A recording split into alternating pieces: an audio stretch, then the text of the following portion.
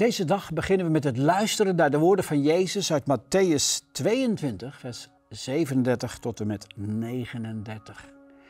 Daar zegt de Heer: Heb de Heer je God lief, met heel je hart en met heel je ziel en met heel je verstand. Dat is het grootste en eerste gebod.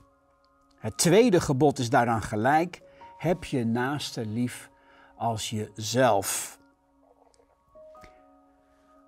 Als ik deze woorden zo weer lees, moet ik uh, denken aan mijn eerste zendingsreis die ik naar Azië maakte. In Kazachstan zou ik voor de eerste keer voor een grote groep mensen in het Engels spreken en daar zag ik een beetje tegenop. Nou, wonderlijk genoeg kwamen de woorden als vanzelf en deed ik aan het eind van mijn preek een oproep. Terwijl honderden mensen naar voren snelden, vroeg ik aan mijn tolk wat de mensen op dat moment zongen. Ze zei, ze zingen, God houdt van Kazachstan, daarom houden wij van ons land. Die woorden troffen me als een mokerslag. Ik, ik, ik zakte neer op het podium, begon te huilen, was niet meer in staat om voor de mensen te bidden.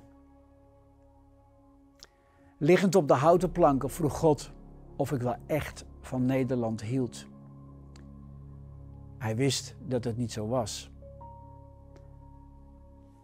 Ik kon alleen maar huilen en God om vergeving vragen. Die avond heb ik me in zekere zin bekeerd en, en nam ik het besluit om van Nederland te gaan houden. Pas later begreep ik dat God deze reis gebruikt heeft om mijn hart te veranderen. Want je kunt de bevrijdende boodschap van Gods liefde alleen maar aan Nederlanders verkondigen als je, net als God zelf, zielsveel van hen houdt. Want, zei Jezus, is dit niet het grootste gebod dat God ons heeft gegeven? Heb God en je naaste lief met heel je hart en heel je ziel en met heel je verstand. Ja. Je kunt de mensen alleen maar over Jezus vertellen als je hen lief hebt. En God wil dat jij van mensen houdt zoals Hij onvoorwaardelijk van jou houdt.